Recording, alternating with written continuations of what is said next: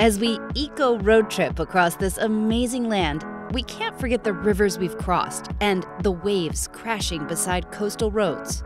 More than 70% of our planet is covered in water, and more than 96% of that is in our oceans. Unfortunately, 14 million tons of plastic end up in the ocean each year. That waste threatens not only life beneath the surface, but also up here on land. So today, we're following conservationists who are helping marine mammals, those that are suffering because of our pollution. Miles, the manatee, look. Whoa! And we get to see how some innovative robots are catching the plastic before it makes it out to sea. Well, thankfully we have this robot because we missed all that. I'm Ginger Zee, Chief Meteorologist at ABC News. My family and I are hitting the road to help rebuild and get a first-hand look at what it takes to save the planet.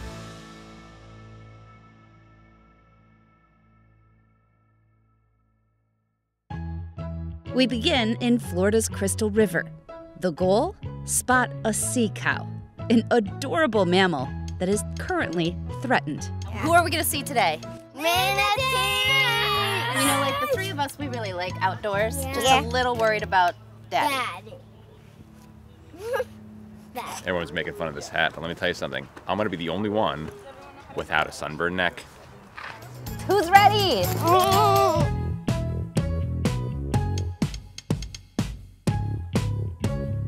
Feel like I'm just paddling a king right now. This kid. You tired? On our trip down the Crystal River, we saw fish, a turtle, Turtle hanging on the log. You want to go say hi? and even a pirate. Have you seen any manatees today, Captain Jackie? I did. But today, we're here to see the manatee. The Florida manatee has lost more than 20% of their total population in just the last year. Pollution from leaking septics, agricultural and residential fertilizers are feeding algal blooms, which block out the sun and kill much of the seagrass, which is the manatee's main food source. Miles, look at manatee. Miles, the manatee, look. This is not just to meet Ben's best friends, the manatees. Love them. It's to celebrate them because they are having a tough time on the other side of Florida. Yeah. Big time issues with water pollution. So we are going to see something that is threatened right now. And that's why they're so important and we have to be very careful around them.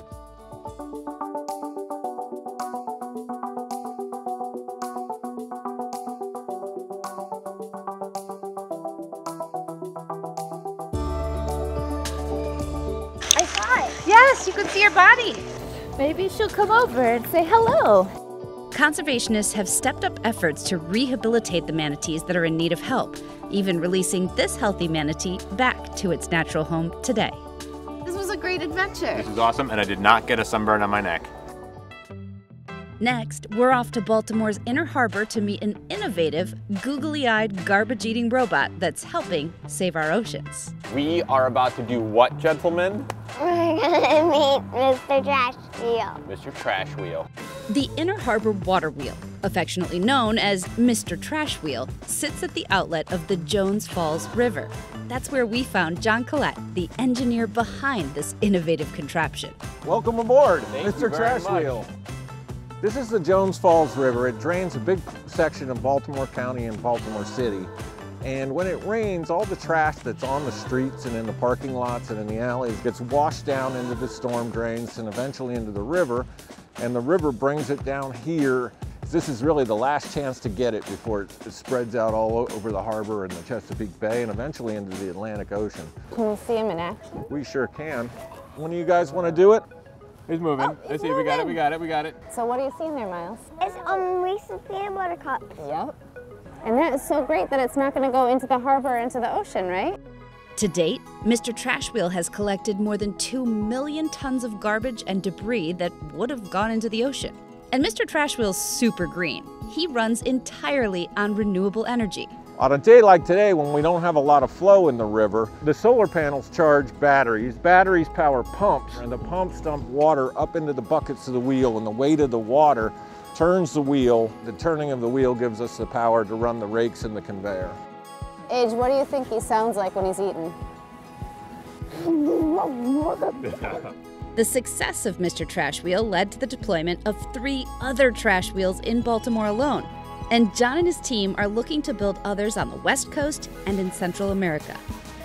Can you guys blow kiss to Mr. Trash Wheel? Mwah!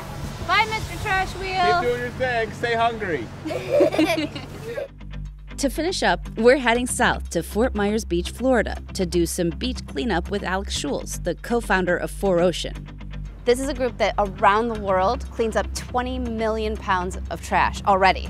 4Ocean has human crews all over the world cleaning up trash from beaches and oceans. But now they've teamed up with Poralu Marine to get a robotic volunteer called the BeBot. You guys want to use a robot? Yes! Clean the beach? Let's clean the beach up. I've been wanting to do this with you all forever. You're gonna push this guy just slowly forward. Oh yeah, he's There you go. rocking. So it uses tank tracks and drives around the beach and it'll skim the top surface of the sand and it'll collect plastic and any type of debris that's on the beach. Look it. A candy wrapper. You got cigarette butts, you got bottle caps. Bottle caps, lots of bottle caps, more wrappers. Well, thankfully we have this robot because we missed all that.